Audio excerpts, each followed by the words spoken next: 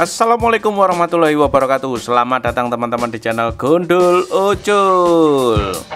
Kali ini kita ucul ngedrone lagi teman-teman. Dan saat ini kita ngedrone di ujung proyektol Probolinggo Banyuwangi teman-teman. Nah dan ini tepatnya di desa Langkap Kecamatan Besuki Kabupaten Situbondo Jawa Timur teman-teman ya. Nah tampak di depan kita ini teman-teman. Ini ada aktivitas pengecoran. Sepertinya ini pengecoran untuk pondasi ya. Pondasi jalur eh, mungkin yang akan nantinya menghubungkan arus lokal ini teman-teman.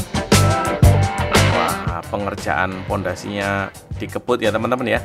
Dan ini merupakan eh, eh, apa ya ruas tol Probolinggo Banyuwangi yang konon katanya ini ujung dari proyek tol Probolinggo Banyuwangi ini berujung di sini untuk sementara waktu ya teman-teman ya.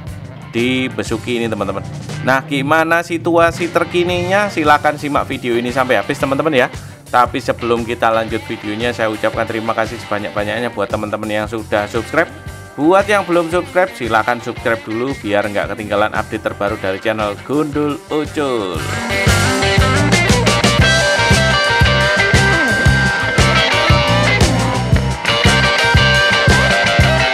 dan ini pengerjaan pengecoran juga tampak dikebut ini teman-teman. Selain pengecoran juga ada pengurukan ya pengerataan. Ada geotek ya geotek yang sudah digelar dan juga di eh, apa diuruk itu ya. Nah diuruk di di apa ditimbun tanah itu loh. Nah diuruk tanah kemudian dipadatkan. Nah pemadatan pemadatan. Ini ya pemadatan tanah urukan ya dan tampak di sana eh, proyeknya juga dikebut ini teman-teman. Ada beberapa roll geotek yang juga siap untuk digelar di sana ya. Dan ini kayaknya pondasi untuk menghubungkan arus lokal ini teman-teman ya. Situasinya seperti ini teman-teman. Dan ini posisinya ada di Desa Langkap Kecamatan Besuki Kabupaten Situbondo Jawa Timur teman-teman Nah, konon kabarnya untuk proyek tol Probolinggo Banyuwangi itu untuk sementara waktu itu sampai di sini, tapi tidak tahu lagi langsung dilanjut ke Banyuwangi atau pending di sini dulu. Wah, kita juga tidak tahu, kami juga tidak tahu ya teman-teman ya. Nah, barangkali ada teman-teman yang lebih tahu, nah boleh deh silahkan tulis di kolom komentar teman-teman ya. Nah, seperti ini situasinya teman-teman ya. Wah, mantap sekali teman-teman. Wah ini pengerjaannya keren sekali ya. Dan eh, dengar-dengar ini targetnya. Kapan ini bisa selesai ya?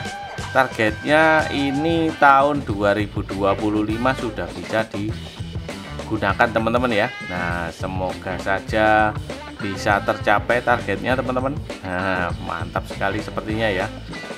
Dan nanti kalau misalnya ini bisa selesai wah teman-teman kalau misalnya mau eh, apa itu? Mau jalan ya. Mau make mau ke Bali wah bisa lebih cepat ya.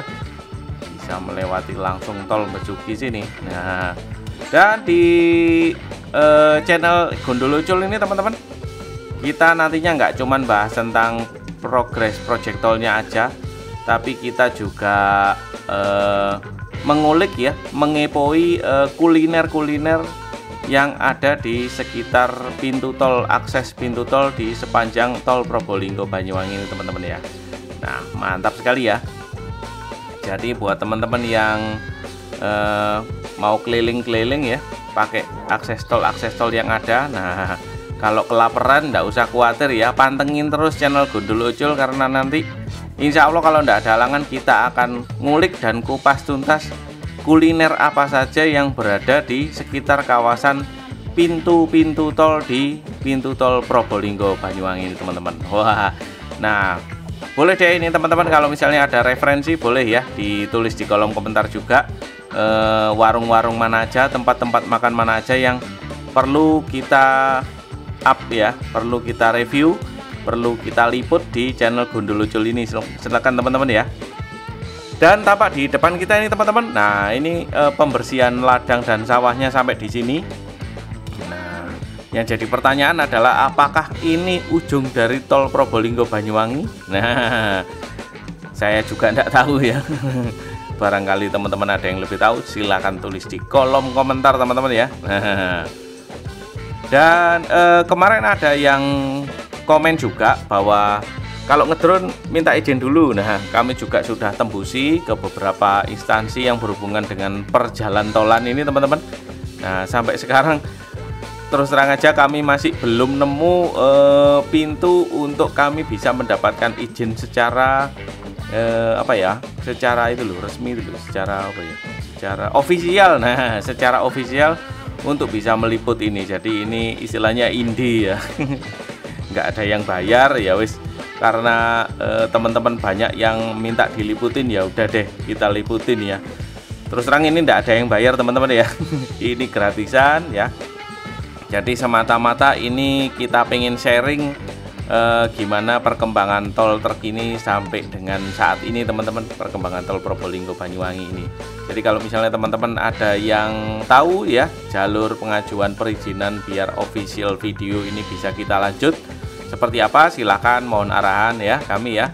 Silahkan tulis di kolom komentar biar kita bisa lanjut terus liputan uh, drone tol Probolinggo Banyuwangi ini teman-teman ya. Nah saya tunggu arahan dan inputan dari teman-teman semuanya. Nah kita lihat di sini teman-teman. Ini adalah uh, ujung tol Besuki ya. Ujung tol Besuki yang nantinya menjadi ujung uh, tol Probolinggo Banyuwangi ya dan apakah sampai di sini saja? Saya tidak tahu ya. Semoga ini langsung lanjut sampai Banyuwangi. Dan saat ini kita menghadap ke arah barat. Nah ini kita ke arah barat ini teman-teman.